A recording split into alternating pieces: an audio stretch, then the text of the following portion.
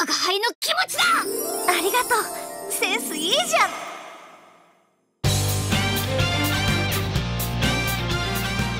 あそれ捨てるときにちゃんとビニールと骨に分けないとダメだよ。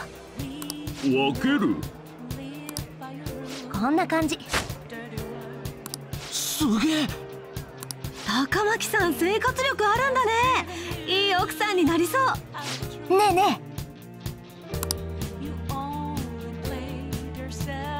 さすが！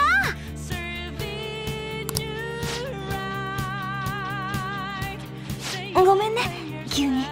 実はさもしかして。いいでしょ？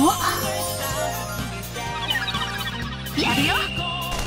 これでもくれ決まったね。さすがアンドナ一気に来たって感じだよね